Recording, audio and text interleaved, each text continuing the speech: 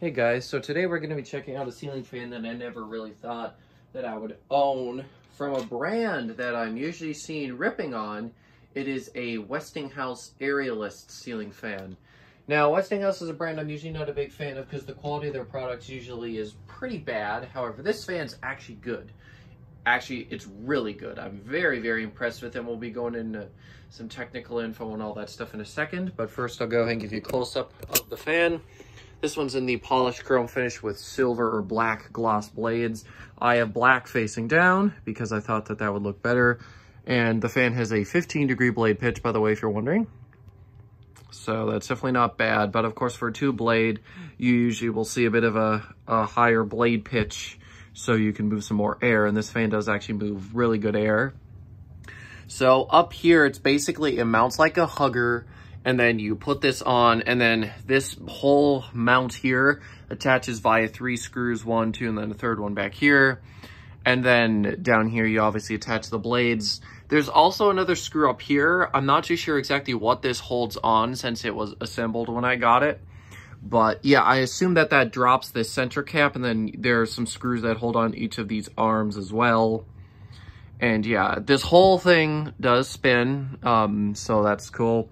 And then also show you up here the uh, the logo on the side of it.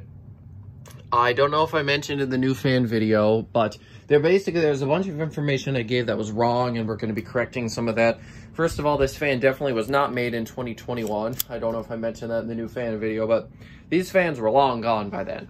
So I don't actually know when this thing is from. I'd have to take a better look to see if I can find what's actually the date. So yeah, let's uh, get the fan started up. It does use a DC motor, so it's got this basic six-speed uh, DC control. If you're wondering, it's a DC 125 motor. The fan moves about 6,000 CFMs on high, I believe is what it said. And here we go. This one's got quite a bit of stutter, but it starts up eventually. It is a really cool fan to see, though and it goes a little faster than normal just to get it going, but then it slows down. So anyways, yeah, so this model was introduced in 2016, which I believe was like their 70, 70th, or it was some anniversary, I think. It might have been 70th. But anyways, so it was introduced then in two finishes, both this one in oil rubbed bronze. And then another mistake I probably said was that the oil rubbed bronze was discontinued first. That was wrong. This finish was actually discontinued first in uh, 2018. It was no longer in the catalog. And then in 2020, the whole fan itself was no longer in the catalog. They discontinued the other one too. So yeah, the fan didn't last extremely long, which is unfortunate because it's a really cool fan. And the only review I can find was a really, really positive one that, and in the end, that person ended up buying a couple more. So yeah, these fans retailed for about four or five hundred dollars. I got this one for like nine or eight bucks, something like that. So yeah, I was at a I was at a salvage store and they had it priced for twenty. However, or well, actually it was like seventeen, but basically we'll round up to twenty. And uh, yeah, turns out that tag was half off, so I ended up getting it for really cheap. And how this ReStore prices fans is actually based off the size and the amount of blades it has. And that's funny because that means the lesser blades, the cheaper it is, even though the lesser the blades, typically the more air moved by the fan. So, yeah, and not to mention this fan uses a really nice DC motor, so the fact that it was so cheap is amazing, and that's why I had to buy it. Yeah, like I said, quality from Westinghouse typically is not my favorite, so I'm not usually um, one to uh, compliment a Westinghouse, but this fan is actually really nice. It's pretty well made. The blades feel good. The metal quality feels pretty decent too. And airflow is good too. It's now on speed 2. And I'm not using the Kill A Watt because the fan does not like to respond with the Kill A Watt. So I'm just not using it. It's that, or well, what I found out was that my remote battery was dying, so perhaps that's why I wasn't responding last night when I tried it with the Kill A Watt, but other way, we're just going to go without it for this video. It is a really cool fan though. It's really, really fun to watch.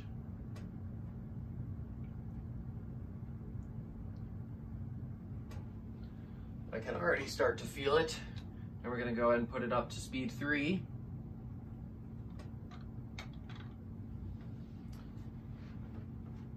But yeah, like even older Westinghouse was not the greatest quality. Even back in the Ancon days, it still wasn't the greatest. They've always been a fairly meh brand, so for this fan to actually be pretty decent is, was honestly a shock to me. I only really bought it because it was cheap and it was cool. But I'm not disappointed at all. Unless, of course, something goes wrong, and in that case, I will be very disappointed. Because this fan is basically new without the box. The blades were still wrapped, everything was new, and the manual and everything was with it, the balancing kit. So it was clear they took it out of the box to test it. And then um, I can imagine the box would have been big, and they only hung on to smaller boxes from what it seems. Seemed well, they kept smaller box or smaller new in box fans in the box because I also got a little Menards hugger that was still in the box, and that box was pretty small. But anyways, yeah. So basically, the fan was new, so I got really lucky that I I hardly paid anything for it. You know, this was a great find. All right, we're on speed four now. Before we were obviously on speed three. Now we're on four.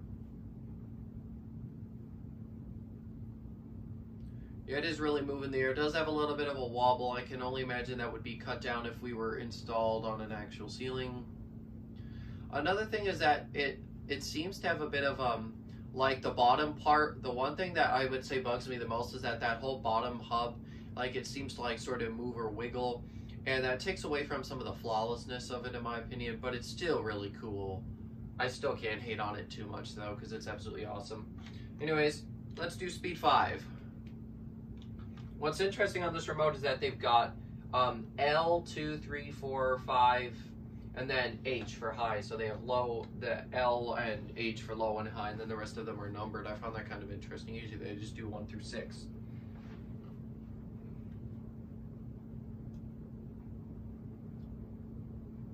This was one of those models that really did interest me in the catalog. One thing I'll say is that Westinghouse's two-blade models always really attracted me from the Solana to the Sparta to this one and the Longo, which didn't last for very long. But yeah, all of those were all two blades. And the Westinghouse two blade line I always thought was really, really cool. The Aerialist was by far the coolest and also my favorite.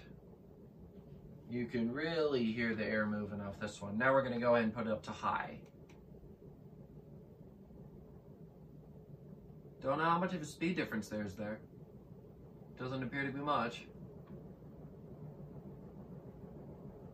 Oh wait, never mind. There was. What? If, actually, I wonder if the um, I wonder if the tachometer will work with this one since the the material of the blades, you know, it's like shiny. So I'm gonna go test that and see because it likes to respond with reflective materials. So that gives me faith that it might actually. Oh, I forgot. It's dead. The battery died.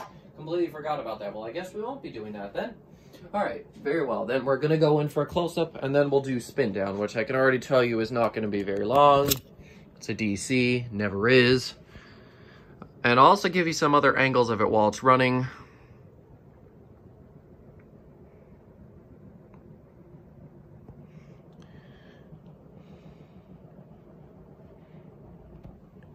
This is such an amazing fan, though.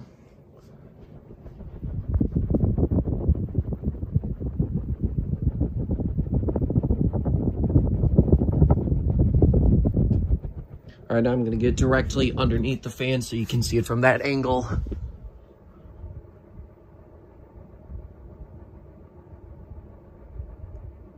Yeah, the fan really hauls. This thing is incredible.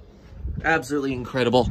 I never thought I would like a Westinghouse product as much as I like this one, but I do. I'll give it to them. Some of their modern designs are really cool. Um, a couple other ones that spring to mind are both the Julian and the Joseph, which are two uh, clear-bladed fans. I don't think either of them are DC like this one.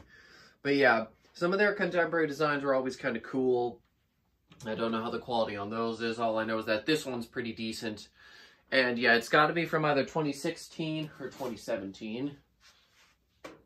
But yeah, the fact I got it for so cheap is really the kicker here. So there we go. Fan has come to a stop. Thank you guys so much for watching, and I will see you later. Goodbye.